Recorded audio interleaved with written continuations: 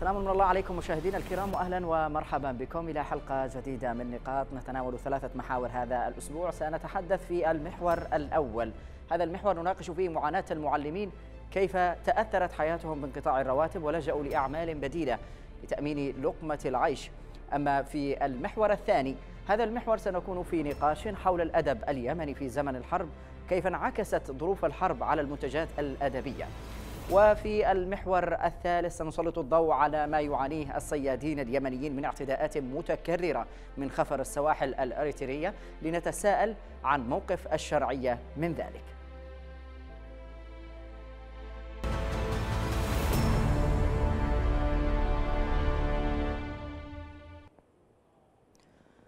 للعام السادس على التوالي لا يزال نحو 180 ألف معلم يمني دون رواتب منذ توقفها في 2016 تسببت الحرب في تدمير ألفي مدرسة وذلك أدى لحرمان أكثر من مليوني طالب من العودة لمدارسهم وانعكس الانهيار الاقتصادي على وضع عشرات الآلاف من المعلمين بشكل قلب حياتهم رأسا على عقب سيما وأن غالبيتهم كانوا يعتمدون على الراتب مصدرا وحيدا للمعيشة. تحولت حياة أغلب المعلمين من حالة الستر إلى الانكشاف وباتوا يعتمدون على المساعدات الإغاثية بدرجة رئيسية. الأمر الذي تصبح معهم أكثر سوءا بتأخر أو انقطاع هذه المساعدات. على سبيل الكفاح ومقاومة الفقر اضطر الكثير من المعلمين لمزاولة مهن بديلة بعضها لا تليق أبدا بمعلم الأجيال وقدوتهم.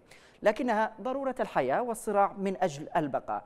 حول ذلك سيدور نقاشنا في هذا المحور. نبدأ النقاش في هذا المحور لكن بعد أن نتابع سويا هذا التقرير.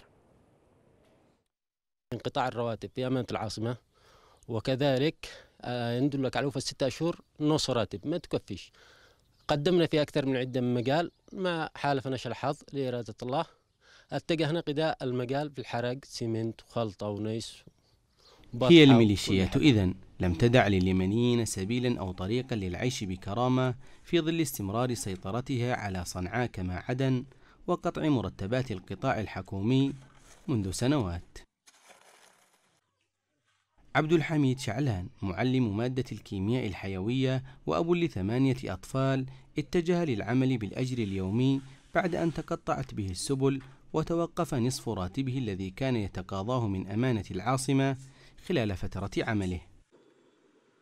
عقد ونصف قضاها شعلان في خدمة التدريس لكنها لم تشفع له حيث أصبح يقضي ساعات يومه منتظرا على الرصيف لعله يظفر بفرصة عمل يستطيع من خلالها إعالة أسرته وتوفير ما يحتاجونه. اضطر إن إحنا نخرج إلى الحرق بسبب العيشه الصعبة والأزمة وانقطاع الرواتب بسبب ما فيش رواتب بالمحافظه الشمالية. أضطرينا إن إحنا نخرج على أساس نعيش أسرنا. واضطرينا للعمل بالحرق. بسبب هذا واذا كان في رواتب أو مدارس نرجع ندرس عادي طبيعي ولا في أي حاجة. بعد يوم شاق يعود عبد الحميد إلى مسكنه على أحد الأرصفة بمدينة عتق متطلعا إلى يوم جديد أفضل من سابقه لكن يبقى السؤال هنا ما دور السلطات المحلية في استيعاب النازحين من المعلمين في هذه المحافظة في ظل ما تشهده المدارس من نقص حاد في التخصصات العلمية. أبو بكر حسين لقناة بلقيس شبوة. إذا تابعنا مشاهدينا هذا التقرير نذهب الآن للترحيب بضيفنا. سينضم إلينا من محافظة تعز السيد ياسين الخليدي معلم نازح. آه إذا أبدأ نقاشي مع ضيفي وأرحب بضيفي أستاذ ياسين. بداية أسعد الله مساك بكل خير. مساكم الله بالخير والعافية أستاذ أهلا وسهلا. تشرفنا بلقائكم حياك الله أستاذ ياسين. يعني أنت معلم وحالك كحال الكثير من المعلمين اليمنيين الذين انقطعت رواتبهم ويعانون بشكل كبير. يعني دعنا نأتي إلى البداية. منذ متى توقفت رواتبكم يعني في محافظة تعز أو بقية المحافظات؟ الآن إلى الآن لنا تسعة أشهر بدون مرتبات عند الحكومة. نعاني الأمرين لانقطاع الرواتب أسرنا لا تملك القوت الضروري فلجأنا إلى أعمال أخرى كي نستطيع أن نوفر حاجات البيت. نعم. وللأسف زاد الطين بلة هو العدوان العدوان من قبل الحوثي الذي ظل يحاصرنا ويحاصر قوتنا إلى هذه اللحظة. لا نستطيع أن نسافر. لا نستطيع أن نأكل لا نستطيع أن نشرب ولا نستطيع أن نملك أي قوت ضروري حتى المعاملة سلبيا داخل المؤسسات الحكومية. نعم. لأنه ما الذي نعمله الآن داخل المؤسسات الحكومية؟ بدون رواتب. نراعي الشهر لما ينتهي وحصلنا فتافت. الفتافت ما تؤديش إلى تربية الأبناء. أبناؤنا بحاجة إلى دفاتر. الدفاتر الدرزن بكم؟ ب 3500 سعر الدرزن 3500 ريال. الزي المدرسية حق ابن الصغير ب 10000 ريال. من الذي سيوفر لنا هذه الإمكانيات؟ إذا كان مرتبي أنا لحد الآن وأنا موجه مركزي لمادة التربية الفنية المعدمة التي لا, لا, لا ليست موجودة أساسا. موجودة في الكتب موجودة في المنهج وراتبي كم 67500 ريال. ربما لو حسبناها ستأتي نفقة أحد أبنائك الطلاب نفقته الدراسية. والله العظيم ما يجي. فلجأت إلى بيع البطاط. لجأت إلى بيع الملابس. لجأت إلى بيع الأكوات لجأت إلى عمل اللحام. لجأت إلى عدة حرف كي أنقذ أطفالي. يعني فساد مسؤول داخل مؤسسة حكومية. لا يستطيع أن يوفر راتبي. كيف أستطيع أن أعمل مع مؤسسة حكومية لا تفي بحاجات وممتلكات وإشباع قوت أبنائي لذا نرجع إلى العمل الحر. وتركنا الوظيفة لهؤلاء الفاسدين الذين إن نتمنى من الله سبحانه وتعالى أن يهلكهم وهو مهلكهم فعلا. وهو مهلكهم وتوعدهم. فأكثروا فيها الفساد فصب عليهم ربك صوت عذاب إن ربك لبالمرصاد. مهما فسد الإنسان لابد أن يرتصد بالفساد حقه وربي سوف يعاقبه سواء اليوم أو بعد اليوم. ونحن ننتظر الفرق من الله سبحانه وتعالى ولا نسأل أحدا إلحافا. ما نسأل إلا من الله سبحانه وتعالى أن يعزنا وأن يعطينا وأن يكرمنا وأن يرزقنا. هوان لهؤلاء الشرذمة هوان لهؤلاء الفاسدين هو لهؤلاء الطغاة الذين لا ليس لهم مبدأ. وليس لهم دين وليس لهم حرية وليس لهم كرامة عصابة إحنا نعم. مع طيب عصابة أستاذ ياسين يعني هذه أنتم يعني استبشرتم خيرا قبل تسعة أشهر لما جاءت الرواتب لا. نعم أستاذ ياسين قبل ما تنقطع الرواتب منذ تسعة. أشهر يعني آه، أنتم استبشرتم خير إنه العملية بدأت تنتظم نوعا ما وأن الشرعية يعني آه، بدأت آه، ترتيب هذا الوضع وهناك صرف للمرتبات لكن ما قبل هذه الفترة يعني أنتم اليوم تعانون بسبب إنه ما فيش مرتبات لكن قبل قبل ما الشرعية بدأت صرف المرتبات يعني منذ 2016 أو منذ 2015 يعني كما يقولوا إنه الرواتب منقطعة. يعني كيف عشتم تلك الفترة؟ كيف عشتم تلك الفترة إلى أن عاودت الحكومة صرف المرتبات وقطعتها أيضا؟ والله نفس الأمرين واحد بالسيف واحد بالسكين. نعم. يعني الاثنين يقتلون. ليس وجود ليس للمعلم كرامة. المعلم في دول العالم مكرم. نعم. في دول العالم المعلم له قيمة وله حرية وله رواتب. في معنا هنا موظفين. تقاعدوا هنا في دول أوروبا. نعم. تقاعدوا والآن يستلموا بالدولار. يصلهم الراتب حقهم إلى هنا. نحن معنا خدمة مدنية للأسف للأسف الشديد. معنا خدمة مدنية متخصصة بشيئين فقط. نعم. أنت عارف إيش الشيئين هذين هو الإجازة والخصم. راتب قدوا ما يكفيش وعادوا فقداء إيش؟ يخصموا. لكن هل فكرت الخدمة الخدمة المدنية أن ترفع المدرسين؟ إذا كنت أنا في هذه الحالة ما حصلتش على طبيعة عمل ولا حصلت على بدل تسكين ولا حصلت على تسوية. وزملائي زملائي زملائي اللي تخرجت أنا وهم في نفس السنة في 93 من الجامعة و88 في دبلوم المعلمين. وقمت أنا أريد أن أكون شخص منظم شخص نعم. وطني شخص هذا. قلت لابد أن أعمل إيش؟ مساوي للراتبين. فرجعونا من 93 رجعونا إلى 77 يعني كأننا شاقي جديد يعني حرمونا هذه الفترات. ولحد الآن لم نحصل على مرتبات كافية. مراتبي كم؟ 67500 ريال. زميلي اللي تخرجتونه سوا بالدبلوم المعلمين يستلم 100000 أين دور الخدمة المدنية هذه؟ أين دور الخدمة المدنية؟ هل يسمعونا؟ إذا هم إذا هم يسمعوا أم أنهم كالبهائم؟ صم بكم لا يسمعون. على أن يعوا يعوا ويفهموا ويفهموا دورهم في هذه البلاد. نعم. الذي لا يستطيع أن يدير والذي لا يستطيع أن يعطي للمعلم حقوقه فعليه أن يرحل من مكانه. فعليه أن يترك الكرسي. لمن سوف يعمل؟ بجد؟ من أجل هذا المواطن. من أجل هذا الموظف. يا ناس نعم. استحوا له. استحوا ما بهدلتم بالمعلمين. بهدلتم بالموجين. أنا موجه. الآن باقي لي أربع سنوات بتقاعد. وراتبي لا يزال 67500 استحوا ما له. يعني متى متى سوف نعين؟ الناس يعني يتقدمون أستاذ ياسين كان الله في عونكم يعني 67000 يعني انظروا للصومال انظروا للحبشه تطورت الحبشة والصومال؟ نعم. أستاذ ياسين 67000 67000 إذا ما حسبنا 67000 انظروا للحبشه والصومال. على لحد الآن على صرف الشرعية. مطورين وحنا ما تطورناش. الصرف ال 100 الدولار آه. يصل إلى ال 100 الدولار يصل إلى 100000 ريال. يعني بمعنى آه، آه، الراتب اليوم الذي آه، تتقاضاه أنت لا يتجاوز 60 دولار ومع ذلك لا يصرف. واقع مأساوي بالفعل. لكن أستاذ ياسين المشكلة اليوم يعني كان المعلمين أو الكثير من المعلمين استبشروا خيرا بأن الشرعية بدأت بالانتظام بصرف مرتبات المعلمين. من ثم حدث انقطاع لهذه المرتبات. أنتم في تعز المشكلة في أين؟ هل أن الدولة يعني آه، أخلت بالتزاماتها بصرف هذه المرتبات أم أنه هناك فساد منظم على مستوى المحافظة؟ آه والله الحقيقة إن الفساد منظم فساد موجود في شتى مرافق الدولة.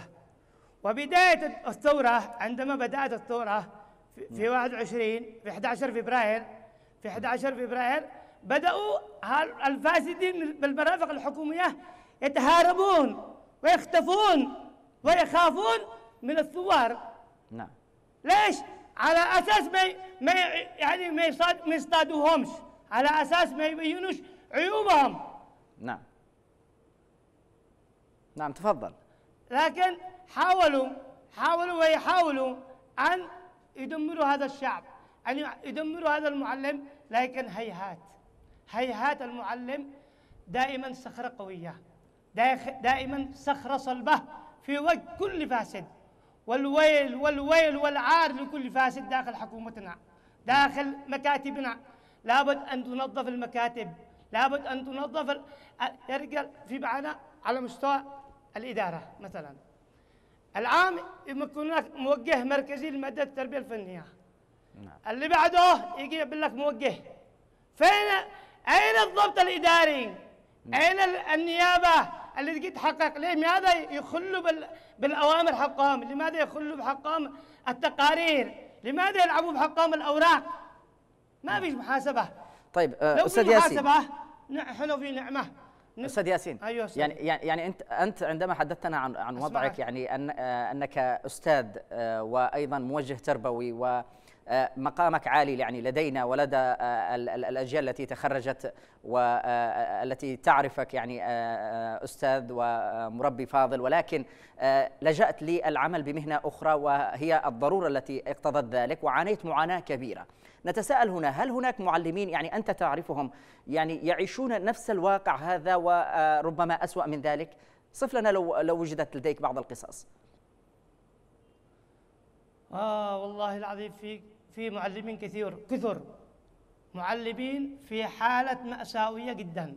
منهم من قرن ومنهم من لحد الآن يعاني. معنا زملاء التقينا زمان في الثمانينات ولحد الآن مكافحين.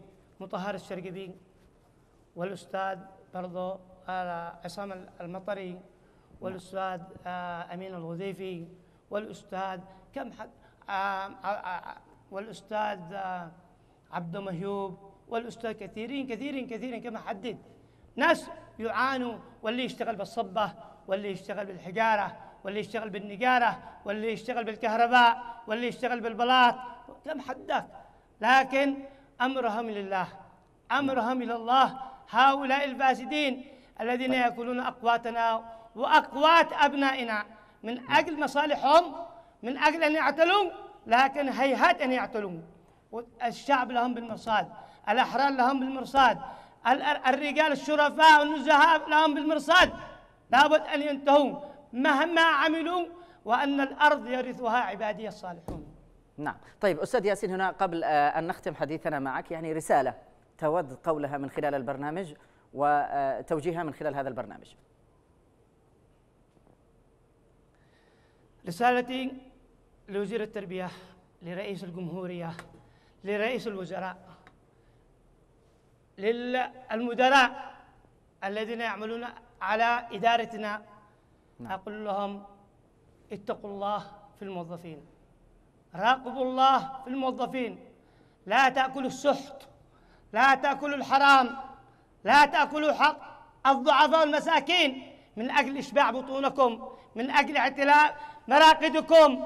من أجل حيالكم اتقوا الله في في الموظف في المعلم في التربوي في الإداري في السكرتير. لابد أن ننهض بهذه البلاد من خلال التعليم. لولا التعليم ما بنيت الأمم ما تخرج الدكتور ما تخرج الطيار ما تخرج المهندس. من هذا المعلم لابد أن يكون المعلم هو القدوة الحسنة لكل الأجيال. المعلم لابد أن يكون الصخرة القوية ضد كل من تسول له نفسه المساس بحقوقه. نعم. وفقكم الله وجزاكم الله خير. شكرا جزيلا لك أستاذ ياسين. ونتمنى لبلادنا الخير والوفاء إن شاء الله والع... إن شاء الله ونتمنى أيوة. ربنا ان ان ان يصلح حالكم نعم. وكان الله في عونكم آه، أستاذ ياسين الخليدي كنت معنا من تعز أحد المعلمين الذين يعانون بشكل كبير في آه، بسبب هذا الوضع وسبب هذا الخذلان الذي يتعرضون له آه، من قبل الحكومة الشرعية اذا شكرا جزيلا لضيفي ومشاهدينا ننتقل الآن إلى محورنا التالي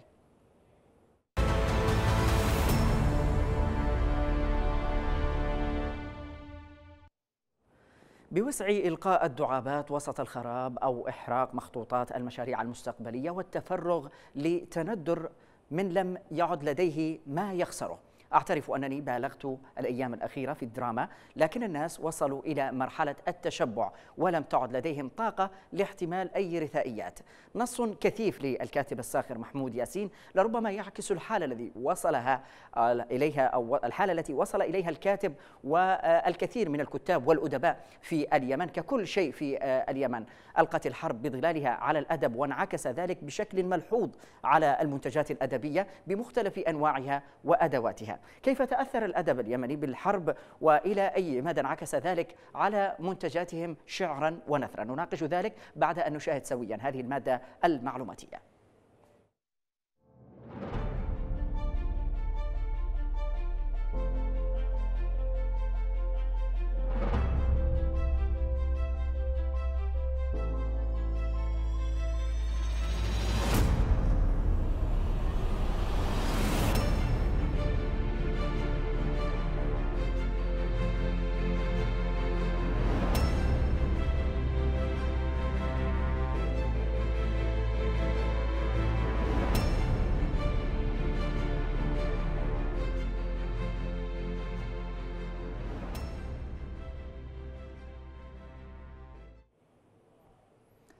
إذا تابعنا مشاهدينا هذه المادة المعلوماتية وسيكون ضيفنا في هذه الحلقة الروائية الأديبة فكرية شحرة. أرحب بضيفتنا. إذا أستاذة فكرية بداية أسعد الله مسائك بكل خير. مساء الخير. إذا آه، يعني اليوم نتحدث آه، آه، يعني سيدة فكرية عن واقع الكتاب والكثير من الروائيين وكيف يعني أثرت الحرب على هذا المجال. ونتساءل يعني من هو الراوي أو الراوية وما الفرق بين القاص والراوي؟ بسم الله الرحمن الرحيم. أولا أشكر قناة بلقيس على استضافتي. ويمكننا أن نستمد تعريف الراوي والقاص آه، من معرفة الفرق بين الرواية والقصة. نعم. الرواية أولا نص طويل مكون من سلسلة من الأحداث التي تنقسم إلى عدة فصول قد تكون أجزاء. نعم. آه، تحتوي على عدد غير محدد من الشخصيات الرئيسية وأخرى ثانوية مرتبطة بالرئيسية. نعم. تظهر وتختفي. بين حين وآخر. يطلق على كاتب الرواية اسم الروائي لأنه ربما يستغرق وقتا طويلا في كتابة الرواية. نعم. آه ويبني ويبني الذروة التي يراها مناسبة من خلال السرد والحبكة وأسلوبه في البناء. نعم. آه، ويستخدم إبداعه في ربط الأحداث آه، التي تبني الرواية. يمكن أن تصنف الرواية أيضا يعني تاريخية عاطفية دينية رسائل يعني روايات غموض. نعم. خيال علمي تعددت أنواع الرواية. نعم. لكن كيف سيدة فكرية يعني كيف تتولد فكرة القصة أو الرواية لدى الكاتب؟ باعتقادي لأن الرواية تأخذ هي في البدء هي عمل. بعكس القصة القصيرة القصة القصيرة نص صغير يمكن نعم. أن يكون مشهد لقطة وكما وصفته الكاتبة التشيلية الليندي في رواية باولا آه، نعم. أنه آه، سهم إطلاق سهم هذه القصة القصيرة يعني مشهد صغير معبر قد لا يستغرق عدة أسطر يعني في حدود معينة للقصة القصيرة نعم. أما الرواية لأنها عمل أدبي يمتد لفترة طويلة قد تكون سنوات نعم. فالكاتب حين يضع فكرة الرواية قد يكون عامل خطة الرواية من وإلى الشخوص الفكرة التي يدور حولها الحبكة. نعم. عمل هي عمل بعكس بعكس القصة التي هي تكون مشهد بسيط ناتجة عن الإلهام أو الإبداع قد يكون منظر في الشارع. نعم. يعني أوحى له بالقصة القصيرة. نعم. بعكس الرواية طيب التي سيدة آه، فكرية شحرة يعني فيما يتعلق ب آه، يعني بعض الكتاب يعني آه، ربما ملاحظ مؤخرا إنه زادت شوية حبتين يعني موضوع إنه كثروا عدد الروائيين. فهل يعني من خلال متابعتك أنت روائيه وكاتبة تنطبق فيهم في هؤلاء الأشخاص مواصفات الروائي أو القاص في آه، ما إذا ما تابعنا المنتوجات الكثيرة التي يعني بين فترة وأخرى نسمع عن فلان أصدر رواية وفلان أصدر كتاب ومن هذا القبيل. فعلا مؤخرا يعني في كثافة في في الإنتاج الأدبي في الساحة اليمنية بشكل ملاحظ. لكن لا نستطيع أن نقلل من إنتاج أحد أو تجربة أحد في الكتابة نعم. لكن نعزو لهذه الكثافة إلى أسباب ومنها والأهم أن استعجال الكاتب والأديب آه، على التخ... آه، الإخراج ما في داخله والتعبير دون أن ينتظر نضوج التجربة. آه، ما ما أعرفه أنه الأدباء الكبار لم يكتبوا الرواية إلا وقد تجاوزوا الأربعين غالبيتهم يعني توجد تجارب. لكن الحاصل في الشباب هذه الأيام استعجال شديد لرؤية المولود نعم. لكن هو ليس من باب التقليل سيدة فكرية شحرة يعني ليس من باب التقليل وإنما ما هو واقع؟ هل تنطبق يعني هناك معايير مهنية هل تنطبق بما آه، يعني حاصل من منتوجات مؤخرا؟ أنا لم لم أقرأ كل شيء حتى أقول لكن كثير من الشباب يعني أعطوني أعمالهم للنظر فيها. الحقيقة توجد أعمال جيدة. والأعمال التي فيها قصور قصور بسيطة يمكن لو صبر الأديب على عمله حتى ينضج. أنا عادة وأنا أعتبر نفسي أكتب منذ نعومة يعني أضع فترة بين فترة حتى أعود للرواية أعود للقصة. نعم. أنظر إليها بشكل مختلف كل مرة. آه، الصبر حتى في عمل في الكتابه نعم. طيب سيدة فكرية يعني إلى أي مدى انعكست آه، ظروف الحرب على الإنتاج الأدبي؟ وهل آه، تكون لدينا ما يمكن تسميته أدب الحرب؟ طبعا حدثت طفرة هذه الفترة فترة الحرب هذه السنوات الأخيرة.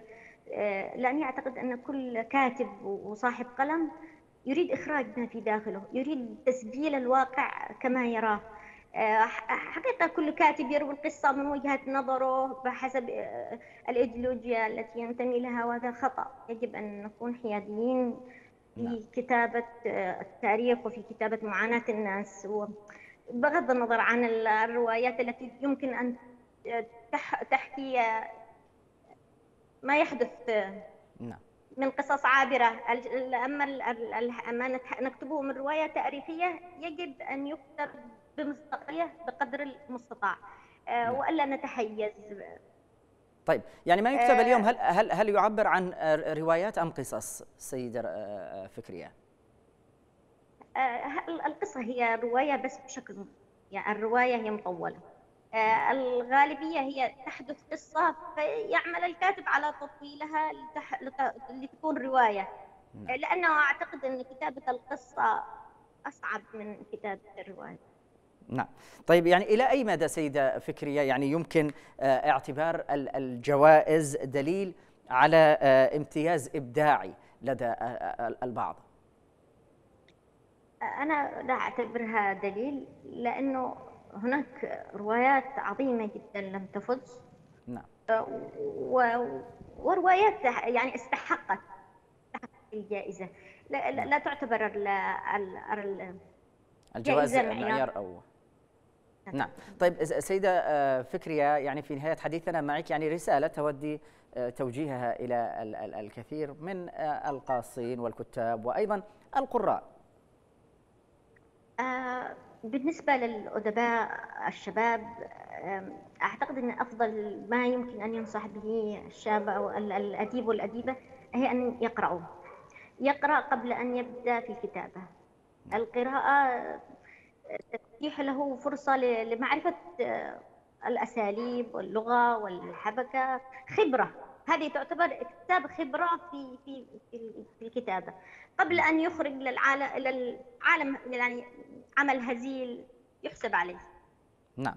إذا شكرا جزيلا لك آه، سيدة آه، فكرية شحرة كاتبة وأديبة يمنية. كنت معنا من القاهرة. شكرا جزيلا لك. وننتقل مشاهدينا لمناقشة محورنا الثالث.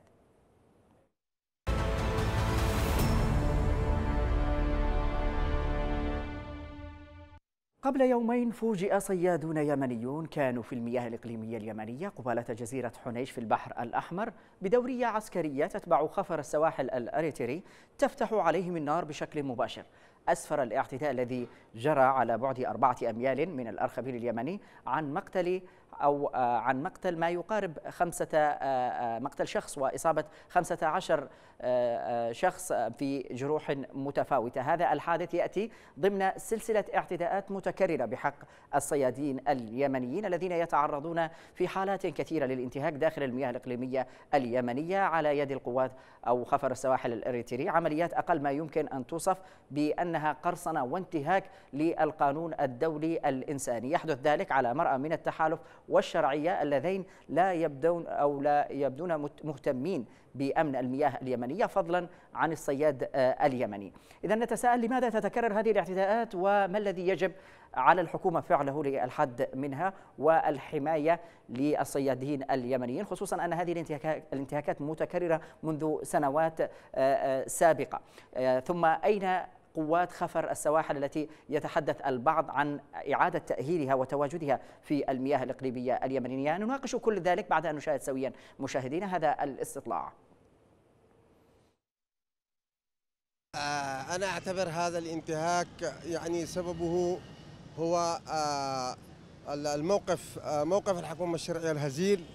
والدول ذات العلاقة باليمن في هذه المرحلة الحرجة وهي دول التحالف العربي المسؤولة عن السيادة اليمنية. هم لا يقدمون الشيء لليمن إنما بسطوا على تلك السواحل ولا يتكلمون لما يتعرض له اليمن في هذه المرحلة. معروف أن الحكومة الشرعية لا تمتلك الجيش القادر على المقاومة في هذه المرحلة لا تمتلك الأمن القادر على الدفاع لا يوجد إمكانيات وتحديث في وسائل حماية الصيادين. هذه الانتهاكات لن تكون الأخيرة ليست هي الأولى ولن تكون الأخيرة. يجب على الحكومة الشرعية أن تتحرك عبر قنوات المجتمع الدولي لحماية سواحلها وحماية صياديها من الانتهاكات المستمرة. يجب حقيقة على الحكومة اليمنية أن تدرك أن الانتهاكات هذه إذا استمرت هكذا فهي تمس بسيادة البلد. ولا بد للقيام على الحكومة الشرعية والتحالف العربي أن يؤمن الموانئ ويؤمن المطارات ويؤمن كل مكان في اليمن تأمينا كاملا وهو مسؤول عنه أولا وأخيرا. المطلوب من حكومة الشرعية أن أن تحافظ على سيادتها الوطنية وأن تقوم بدورها بحماية المياه الإقليمية اليمنية والصيادين. فقدان السيادة هو ما جعل الحكومة الشرعية تكون عدة قوات في الساحل وفي تعز وفي وفي عدن وفي. نحن نطالب حكومة الشرعية أن تستعيد سيادتها وأن تحافظ على المياه الإقليمية اليمنية من كل الاعتداءات الخارجية. هذا واجب على حكومة الشرعية الوقوف بحزم وجد أمام الصيادين اليمنيين وحمايتهم من الاعتداءات الارتيلية الذي يحصل عليها كل حين والآخر وهناك تهاون على السواحل وهناك ضروري أن على حكومة الشرعية الوقوف بجد أمام من تسول له نفسه في الاعتداءات على سواحلنا أو المساس بها؟ آه طبعا أرى أن الحكومة اليمنية لا تستطيع فعل شيء بحكم أن الحكومة اليمنية مقيدة بكثير من القيود. ولكن بإمكانها أن تنسق مع الجانب الإرتيري من يعني من من أجل الضغط على ما يتعرض له الصيادون لعمل ما يمكن. يعني مجرد تنسيق. أما من حيث أنها تستطيع أن تضغط أو تفعل شيء كجانب إجرائي لا تستطيع. اعتداءات متكررة على الصيادين اليمنيين في في جميع السواحل اليمنية. نتساءل ويتساءل. نذهب للترحيب بضيفنا سينضم إلينا الناشط المجتمع يوسف مدحدح. إذا أرحب بضيفي. أهلا وسهلا ومرحبا. أهلا بك سيد يوسف. بداية أسعد الله مساك بكل خير. أسعد الله مساك أستاذ شاقي نقيب وشكرا على استضافتكم في هذه اللحظات الحرجة لليمن كاملا والحديدة بشكل خاص. حياك الله. يعني نتحدث عن الصياد اليمني الذي يعني ربما معاناته طويلة. يعني نتحدث عن ما يقارب 15 عاما من الانتهاكات التي يتعرض لها الصياد اليمني خصوصا في تهامة على يد القوات الأريترية. تغيرت حكومات وتغيرت أنظمة وما زال الحال كما هو عليه. هناك قصص كثيرة نسمعها يعني محتجزين بداخل أريتريا يستغلهم بأعمال شاقة غير الاعتداءات التي تحدث في عرض البحر حدثنا عن ذلك. هناك قصص كثيرة. ما يتعرض له الصيادون عبر السنوات الماضية وحاليا هو سلسلة من الاعتداءات لدول الجوار ما ما يعني نستطيع أن نفسره أنه لا يوجد هناك دولة تهتم بمواطنيها ذلك الاهتمام كما أن هناك دول تحافظ على رجالها وصياديها وعمالها. في كل دول العالم لهم كرامتهم ولهم إنسانيتهم ولهم حريتهم. إلا في اليمن نجد أن هناك اعتداءات متكررة بل وصل الحد إلى درجة القتل والتنكيل والتشريد ما يحصل من البحرية الإرتيرية من مصادرة جلبات الصيادين وقواربهم. هناك العشرات في سجون السجون الإرتيرية بل البعض يعاملونهم بشدة مما يجعلونهم في في سجونهم يبنون لهم العمائر بأعمال شاقة يجعلونهم في المزارع يعني كل الأعمال الشاقة يعملها الصيادون بناء على إهانة الكرامة يعني. نعم. طيب سيد يوسف يعني ليس كما حتى حتى أنه من في كثير من الأمور عندما تأتي السلطات الاريتريه للإفراج عن الصيادين اليمنيين يحدث ذلك طوعيا يعني بمعنى تصل بعض الدفعات من الصيادين العائدين. أعتقد أنه لا يوجد أي تنسيق ولا أي متابعة فقط ويعني يحدث أحيانا تكرما من الجانب الإريتري وبإطلاق سراحهم. بمعنى لا يوجد أي اهتمام أو متابعة من قبل الدولة. آه كانت تحصل بعض التنسيقات مع من, رجالة الدولة آه من من هم مهتمون بالجانب آه تحمل المسؤولية وكانت تحصل هناك الإفراج لبعض الصيادين لكن هذا كان يحصل نادرا. ما يحصل للصيادين اليمنيين في ال- بالجانب بالذات الجانب الارتيلي المحاذد لنا هو انتهاك ل- ل- لكرامة الإنسان الذي آه، يسعى إلى رزقه يعني تصور أنه هناك مجموعة من الصيادين يعملون في مياهنا وقريبا من الممر الدولي لا يبعدون سوى خمسة ميل أو خمسة ميل بحري عن جزيرة حنيش لكن معظم الصيادين يعرفون أن الحدود البحرية آه، لا لا يوجد صياد إلا وهو يعرف أن هناك حدود بحرية لكن يتجاوزها لأسباب آه، عدة منها الوضع الحاصل آه، في اليمن وأصبحت المنطقة البحرية منطقة مواجهات خاصة معنا ومع الميليشيات ال- الحوثية آه، فأصبح الصياد يبحث عن مصدر رزقه ولو في الأماكن الخطرة. نعم. يعني سيد يوسف أيضا من بعض القصص التي سمعناها من بعض الصيادين في فترات سابقة بأن الصياد الأريتري يدخل على المياه الإقليمية اليمنية ويصطاد كما يشاء دون أي محاسبة أو أي رقابة حتى أن بعضهم يأتي ل آه، يعني ميناء الإنزال ويقوم ببيع بضاعته وعرضها ولا توجد أي رقابة عليه. بينما اليمن إذا ما اقترب قليلا من جزيرة حنيش التي هي جزيرة يمنية في الأساس يتم الاعتداء عليه. آه هذا من شر البلية آه التي شر البلية ما يضحك يعني. آه أن يكون ال- ال- اليمني آه مطارد أو محاسب على مشيه وعلى خطواته وعلى آه تجاوزه في بعض الأماكن وبالمقابل أن يأتي الطرف الثاني ويكون يمشي بكرامته ثم أو ربما بالتنسيق مع جهات. غير معروفة مثلا ويأتي بضاعته. نعم؟ جهات نافذة يعني. ربما آه، تكون جهات نافذة تستغل هذه هذا الوضع. إذا كان حدك من آه، ال- البحر ممر للتهريب بكل أنواعها. نعم. طيب يعني آه، هناك حديث عن أنه معنا قوات خفر سواحل وأنه تم تجهيزها مؤخرا ويعني الأمر كما يتحدثون بأن الوضع تحت السيطرة. وبالتالي آه، لا نجد أي حماية للصياد اليمني. يعني اعتداءات متكررة آخرها ما حدث منذ يومين ولا وجود لقوات خفر السواحل التي يتحدثون عنها بأنها مجهزة ب آه، آه، يعني كامل الاستعداد. من يقود خفر السواحل هو ال- ال- العميد زحزوح المعروف باتهاميته والمعروف بشجاعته والمعروف ب آه، يعني انتمائه لهذا الوطن وانتمائه لل- للأرض اليمنية. آه، لا لا نظن أنه أو أقصد أنه إيش؟ آه، بعيدا يعني عن شخصية الرجل يعني ما الذي ما الذي فعله في, في, في سبيل حماية الصيادين أبناء تهامة. الرجل إلى الآن هو مسؤول خفر السواحل لكن يظهر أن في آه، صلاحيات محدودة آه، وأرى أن أن الرجل يستطيع في في في في القادم أن يبني هذه المؤسسة وهي مؤسسة خفر السواحل ويعمل بجهد آه، كما سمعنا من بعض ال- الضباط الذين يعملون في خفر السواحل.